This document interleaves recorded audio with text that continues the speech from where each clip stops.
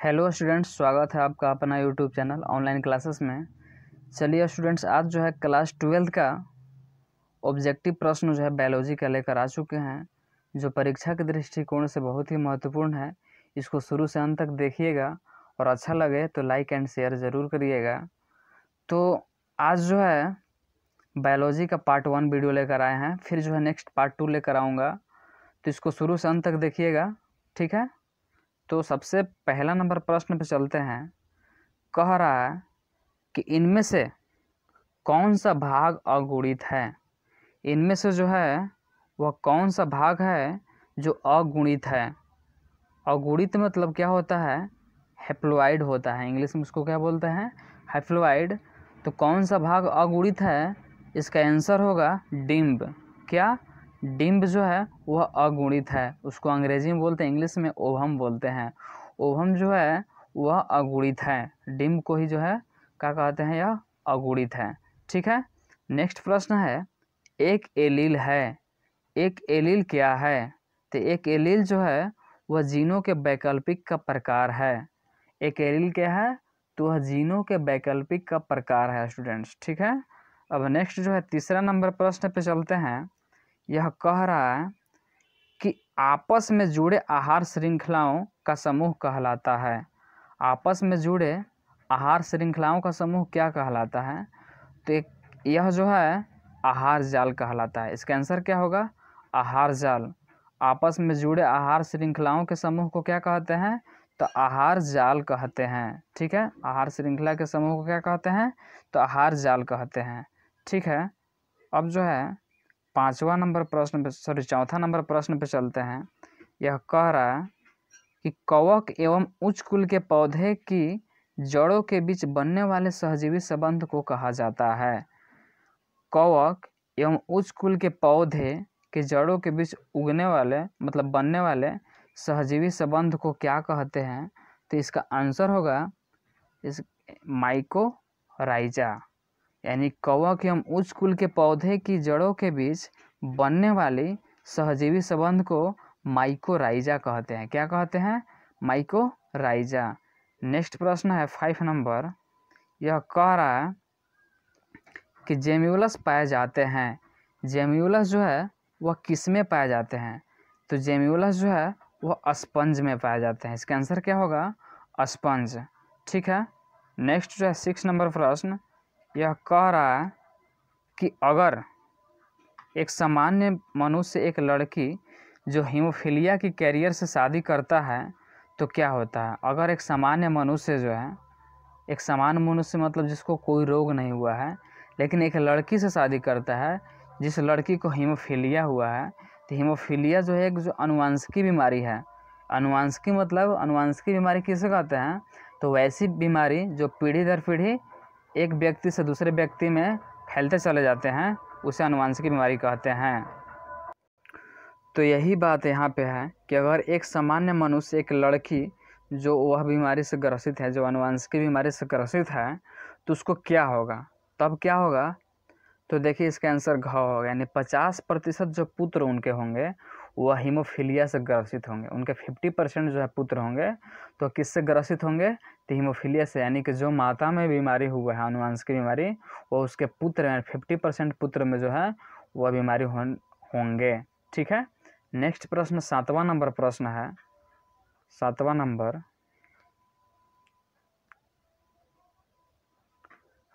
कह रहा है इसमें कि एक आहार श्रृंखला एक आहार श्रृंखला में शाकाहारी क्या है? तो शाकाहारी क्या है? आप लोग को मालूम होगा कि शाकाहारी जो है क्या हुआ? प्राथमिक उपभोक्ता है। इसका आंसर क्या होगा? प्राथमिक उपभोक्ता। एक आहार श्रृंखला में जो शाकाहारी है, वह क्या है? प्राथमिक उपभोक्ता। शाकाहारी किसे कहते हैं?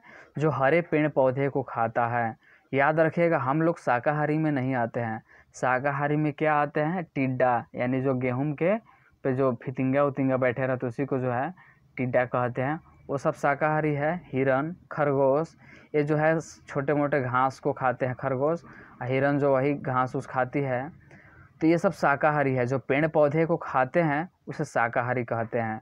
अब पेड़ पौधे को क्या कहते हैं? यदि बात हो कि पेड़ पौधे को क्या कहते हैं तो पेड़ पौधे को प्राथमिक उत्पादक कहते हैं। क्या कहते हैं? तो प्राथमिक उत्पादक कहते हैं पेड़ पौधे को। अब नेक्स्ट है इसमें तीसरा ऑप्शन द्वितीय उपभोक्ता। द्वितीय उपभोक्ता किसे कहते हैं? तो द्वितीय उपभोक्ता जो प्राथमिक उपभोक्ता को खा जाता है, उसे द्वितीय उपभोक्ता कहते हैं।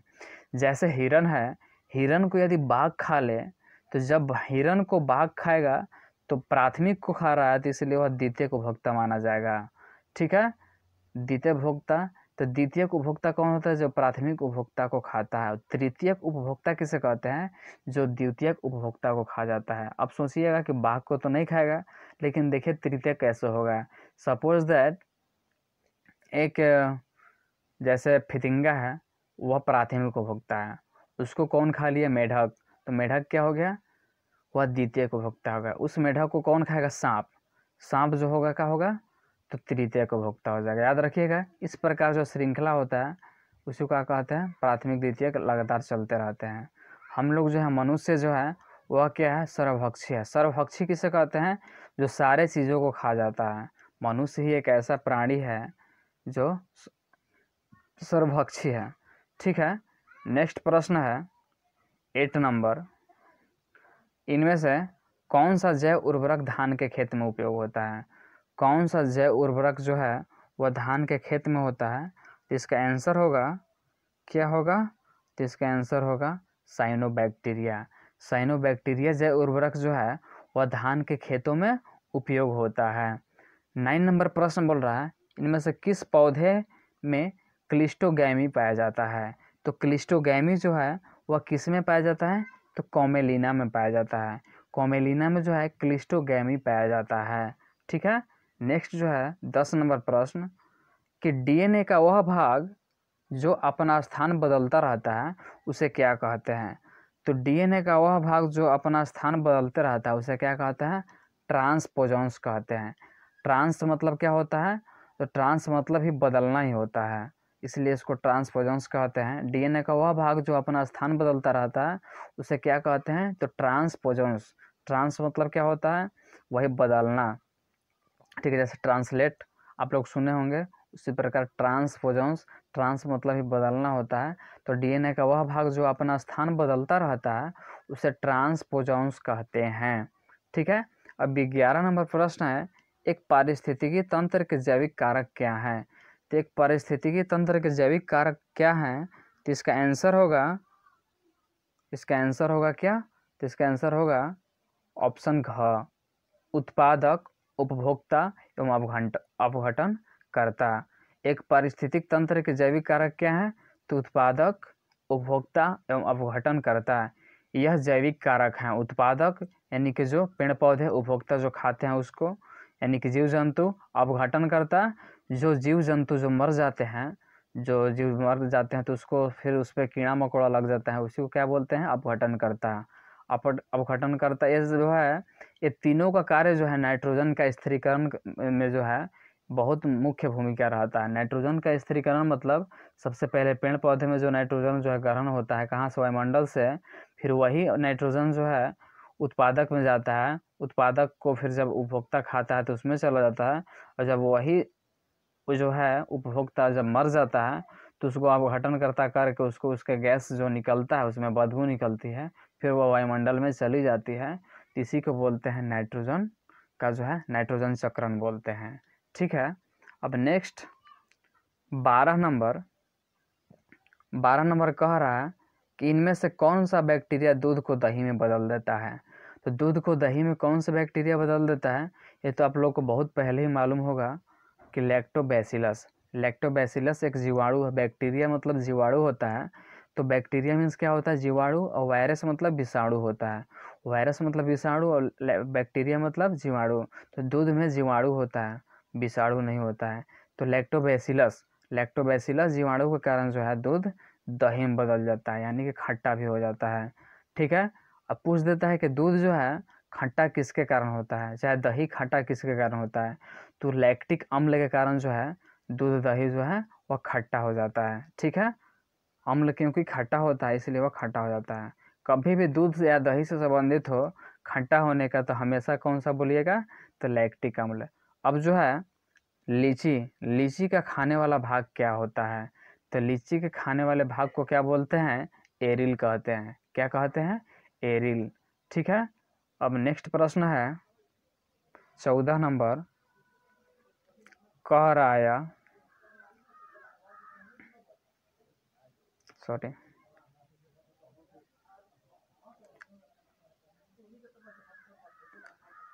बोल रहा कि चौंसठ कोडाउन में से कितने अमीनो अम्ल के लिए कोड होते हैं? चौंसठ कोडाउन में से जो है कितने अमीनो अम्ल के लिए कोड होते हैं? तो इसका आंसर होगा, इसका क्या आंसर होगा आप लोग खुद दीजिए। तो इसका आंसर होगा, इकसठ। चौंसठ कोडाउन में से कितने अमीनो अम्ल के लिए कोड होते हैं? तो इकसठ के लिए होते हैं, ठीक है? नेक्स्ट प्रश्न है, पंद्रह नंबर। यह कह रहा है कि पारिस्थितिक तंत्र के अंदर, पारिस्थितिक तंत्र के अंदर ऊर्जा का प्रवाह एक जीव से दूसरे जीव में किस रूप में होता है? तो पारिस्थितिक तंत्र के अंदर ऊर्जा का प्रवाह एक जीव से दूसरे जीव में किस रूप में होता है? तो इसका आंसर होगा ग, यानी रासायनिक पदार्थ के रूप में। रासायनिक पदार्थ के रूप में जो है ऊर्जा का प्रवाह एक जीव से दूसरे जीव में होता है। रासायनिक पदार्थ के रूप में जो है, यह प्रवाह होता है, एक जीव से दूसरे जीव में जाता है। अब देखिए नेक्स्ट प्रश्न है बैक्टीरिया। बैक्टीरिया की खोज किसने की? तो बैक्टीरिया की खोज जो है, वह किस, किसने की थी? तो इसका आंसर होगा Leeuwenhoek sorry Leeuwenhoek नहीं होगा बैक्टीरिया की खोज। हाँ लिवियन हॉक ठीक है। बैक्टीरिया की खोज किसने की? लिवियन हॉक यानी जीवाणु की खोज किसने किया था? लिवियन हॉक ठीक है? अब, यदि बात करें विषाणु की, किसकी बात करें? विषाणु की बात करें तो विषाणु की खोज किसने किया था? तो विषाणु की खोज जो है युवान विस्की युवान युवान विस्की युवान विस्की ने विषाणु की खोज किया था। यानी याद रखिएगा, जीवाणु की खोज लिवियन हॉक और विषाणु की खोज व्यान विस्की बैक्टीरिया मतलब जीवाणु होता है और वायरस मतलब विषाणु होता है। ठीक है? अब सत्रह नंबर प्रश्न पे चलते हैं। यह बोल रहा है कि कौन सा कथन सत्य है? इस निम्नलिखित में से कौन सा कथन जो है, वह सत्य है? तो इसका आंसर होगा, आप लोग बताइए तो इसका आंसर होगा क्या होगा? तो तुल्य रूपता अभिसारी विकास पर आधारित है। इसका आंसर क्या सही है? तो तुल्य रूपता जो है, अभिसारी विकास पर आधारित है। तुल्य रूपता जो है क्या है? वो अभिसारी विकास पर आधारित है। ठीक है? नेक्स्ट है अठारह नंबर प्रश्न कि किसने कहा था? क्या किसने कहा था कि जीवन रूपों का विकास अंग के उपयोग एवं अनुपयोग के कारण होता है? क्या है क्वेश्चन? हुआ। यानी किसने कहा था कि जीवन जीवन रूपों का विकास, अंग के उपयोग एवं अनुपयोग के कारण हुआ। तो इसका आंसर होगा ग, यानी कि लैमार्क लैमार्क ने कहा था कि जीवन रूपों का विकास अंग के उपयोग एवं अनुपयोग के कारण हुआ है। यानी जीव का विकास जो है, कैसे हुआ है? तो अंग के उपयोग के कारण। इसका मानना है कि पहले मनुष्य जो है, बंदर की तरह थे तो वह अपने पूँछों का इस्तेमाल धीरे धीरे करना बंद कर दिया। यानी विकास जो है उनके अंगों का उपयोग करना बंद कर दिया तो उसका जो अंग जो है, जो वह नष्ट होते चले जाती थी। कहा जाता है कि जो जीव अंग का, जो जिस अंग का इस्तेमाल करना छोड़ दिया, वह अंग धीरे धीरे लुप्त हो गए जिसके कारण मनुष्य का विकास हुआ। ठीक है? तो मनुष्य का वैज्ञानिक नाम यदि पूछ दे तो मनुष्य का वैज्ञानिक नाम क्या होता है? होमोसैम्पियंस क्या है? होमोसैम्पियंस जो है, वो मनुष्य का वैज्ञानिक नाम, क्योंकि होमोसैम्पियंस जो है, पहला मानव जीव पर आधारित है, ठीक है? नेक्स्ट उन्नीस नंबर प्रश्न है कि थॉमस माल्थस के कार्य हैं। थॉमस माल्थस के क्या कार्य हैं? तो थॉमस माल्थस के कार्य हैं, वह कि समष्टि संदर्भ, यानी पॉपुलेशंस थॉमस माल्थस के क्या कार्य हैं? तो समष्टि संदर्भ, ठीक है? अब नेक्स्ट उन्नीस नंबर तो हो गया, बीस नंबर पर चलते हैं। बीस नंबर कह रहा है। बीस नंबर।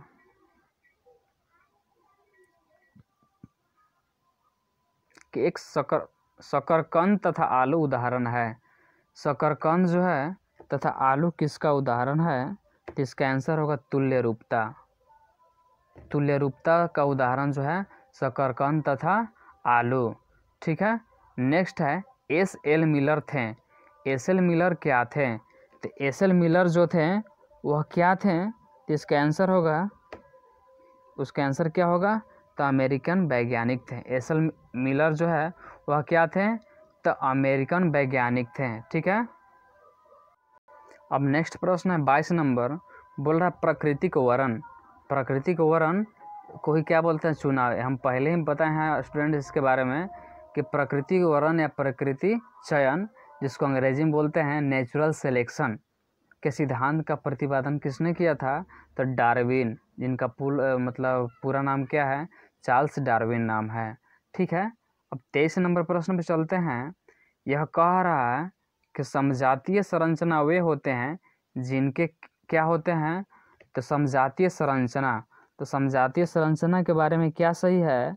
तो जिनके शारीरिक संरचना समान, लेकिन उनके कार्यकलाप जो है, यानी कि कार्य जो है अलग अलग यानी शारीरिक संरचना तो एक जैसा है, लेकिन कार्य अलग अलग हो, उसे क्या कहते हैं? तो समझातीय श्रेणी या समझातीय संरचना कहते हैं। ठीक है? समझातीय संरचना। नेक्स्ट प्रश्न है, चौबीस नंबर। यह बोल रहा है कि निम्नलिखित में कौन ह्यूम, ह्यूमोरल प्रतिरक्षा के लिए जिम्मेदार है? निम्नलिखित में कौन जो ह्यूमोरल प्रतिरक्षा के लिए जिम्मेदार है तो इसका आंसर क्या होगा? बी लिम्फोसाइट्स बी लिम्फोसाइट्स जो है, वह ह्यूमोरल प्रतिरक्षा के लिए जिम्मेदार है, ठीक है? अब पच्चीस नंबर प्रश्न पे चलते हैं। यह कह रहा है कि कोकिन कोकिन प्राप्त किया जाता है। कोकिन जो है, किससे प्राप्त किया जाता है? तो इसका आंसर क्या होगा? इसका आंसर इडिथ्रो जाइलोन कोका से। इरिथ्रो जाइलोन कोका से जो है, कोकिन प्राप्त किया जाता है। ठीक है? नेक्स्ट अब छब्बीस नंबर प्रश्न पे चलते हैं। यह कह रहा है कि थोड़ा रुक जाइए। अफीम के अत्यधिक प्रयोग से क्या होता है? तो अफीम के अधिक प्रयोग से क्या होता है? तो देखिए, पहला ऑप्शन है क्या है। शरीर शरीर के वज़न में कमी, भोजन में अरुचि और तीसरा बांझपन और चौथा इनमें से सभी। अफीम के अधिक प्रयोग से जो है, क्या होता है? तो शरीर के वज़न में भी कमी हो जाती है। यह भी सही है। भोजन में अरुचि, यानी भोजन में, यानी खाने में मन नहीं लगता है। खाने का इच्छा नहीं करना, यानी भोजन में अरुचि भी होता है। लगता है कि भूख नहीं लगा हुआ है। भूख न लगना, तीसरा बांझपन और चौथा यानी कि जो है जब तीनों सही है तो इसलिए क्या हो जाएगा इनमें से? सभी। इसका आंसर क्या होगा? इनमें से सभी घ आंसर होगा। ठीक है? नेक्स्ट है, सक्रिय प्रतिरक्षा की खोज किसने किया था? एक्टिविटी इम्यूनिटी को जो है, खोज किसने किया था? इसका आंसर होगा, इसका आंसर क्या होगा? तो इसका आंसर होगा, देखिए, इनमें से कोई नहीं। इसका जो है, सक्रिय प्रतिरक्षा का जो है इसका शायद ध्यान नहीं है। नेक्स्ट चलिए। अट्ठाईस नंबर। अट्ठाईस नंबर कह रहा है, दवा कितने प्रकार की होती है? दवा कितने प्रकार की होती है? तो दवा जो है वह कितने प्रकार की होती है? तो इसका आंसर होगा, क्या? तो दवा जो है, दो प्रकार की होती है। कितने प्रकार की होती है दवा? दवा दो प्रकार की होती है। ठीक है? तो थैंक यू स्टूडेंट्स आज के लिए बस इतना ही। अब जो नेक्स्ट वीडियो जो आगे वाले लेकर आएँगे पार्ट टू तो अगर यदि आप लोगों को अच्छा लगा होगा तो लाइक करें शेयर करें सब्सक्राइब करें और अपने दोस्तों के पास अधिक से अधिक शेयर करें। धन्यवाद।